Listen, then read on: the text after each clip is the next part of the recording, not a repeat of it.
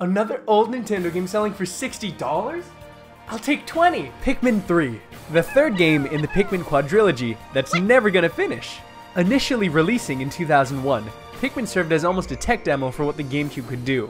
However, it proved to be one of the most unique games on a Nintendo platform. Pikmin 2 was released three years later, and then for almost a decade, silence. Until 2013, when Pikmin 3 came out on Wii U. The Wii what? The Wii U, dummy. Oh yeah. Nobody bought this console. Well, here we are, seven years after the fact, and boom, re-release. Suffice it to say, I'm generally pleased with this re-release. The base game was already really solid, and this deluxe edition brings some extra content and features sorely missed in the original release. Like multiplayer during the story mode, all the DLC maps, and of course, the frickin' Piklopedia! Hell yeah! Oh yeah, and new story content. So, let's get on with the actual game. Pikmin 3 looks absolutely gorgeous on Switch. Even though there's some jagged polygons, I really don't mind. It was never enough to really detract and take me out of the game. Pikmin was always one of those series that you know would look spectacular in HD, and when it first came out, it was mind-blowing. The details are insanely crisp, and it manages to make you feel like you're a tiny captain in a big world. The story of Pikmin 3 is that you control three captains journeying to Earth. They're in search of finding sources of food in order to keep their planet from starving. Once finally landing, they encounter the Pikmin, and your journey begins. Boom, gist of the game, done. How does it control? Honestly, the game still feels great. While the gamepad did bring very comfortable controls, they were able to be filled by other buttons on other controllers. After all, Pikmin was for the GameCube and it worked perfect over there. You press the X button to do a charge attack, which is one of my favorite features in Pikmin 3, just swarming enemies with Pikmin. You can press ZR to lock on, and that is absolutely 10 out of 10 feature. I love it. It is the most handy thing, and sometimes it is a little finicky, but when it works, it is mwah, it is perfection.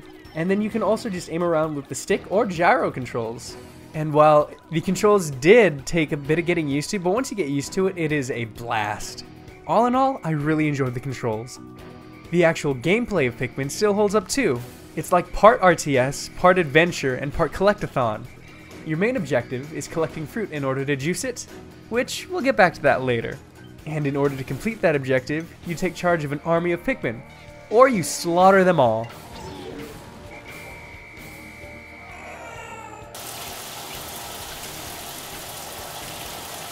The difficulty I feel is perfect, and it sits in a nice middle ground of not being too hard where you want to rip your hair out, and not being too easy so that it'd be more fun watching paint dry.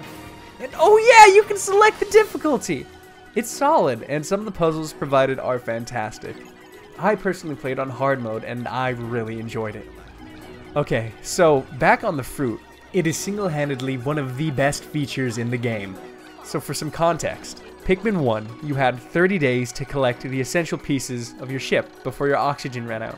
Pikmin 2 decided that giving children anxiety was wrong and removed that timer altogether. But Pikmin 3 strikes the perfect balance your skill directly affects how much fruit you're going to have, and thusly, it affects how much time you're going to have. That's fantastic. More efficient, skilled players will have infinite fruit, while the less skilled players will constantly be scrambling for fruit. And if you really wanted to do a challenge run, you could probably run through the game collecting as few fruit as possible to live. I remember back in my old playthrough, everything was hunky-dory up until the last few chapters, when the difficulty had increased and I spent more and more time wandering and less and less time being efficient, so I had to scramble for fruit just to keep living and it progressed the story. The bosses are all really memorable, and I really enjoyed all of them. They serve as a solid challenge, as well as a bookend to each stage of progression. And while I won't spoil every boss in this review, there's some really good spectacles to behold for bosses. All in all, the game took me around 14 hours to beat on my first playthrough, on Wii U, and for Pikmin Deluxe, it took me about 7 hours to beat. And that's not even including the bonus modes. Yeah, there's even more. The base game alone has some insane replay value as is, and that's just because of its mechanics alone. We have Challenge Battle, and they're just that, fun challenges. Plus some added DLC maps. Multiplayer, who doesn't like bingo? And my most excited feature of this re-release, extra story content.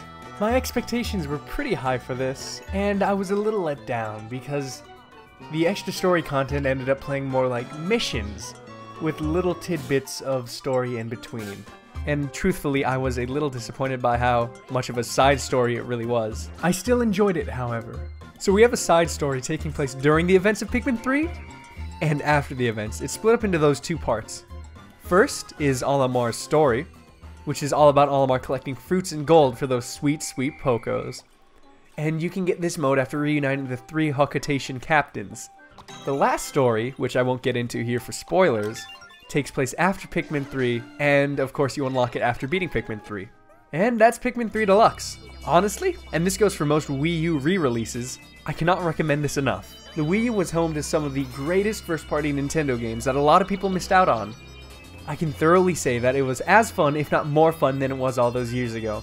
While the game seems short, you gotta remember how much replay value there is. It's straight up addicting trying to become more and more efficient, and just improving at the game. The added content, including the extra DLC, is a worthy addition, and I feel like more than justifies the $60 price tag, even if you bought Pikmin 3 at launch. However, the original still has like 90% of the content of this re-release. So, for the three of you Wii U owners out there, only get this game if you're dying for an actual Pikmin game on the go, or if you really want to check out the new content. Now, if this sells well, we'll probably finally be able to get Pikmin 4. Oh.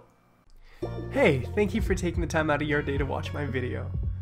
I'm a small channel right now, but I'd really appreciate your support in growing. So if you liked the video, go ahead and like it.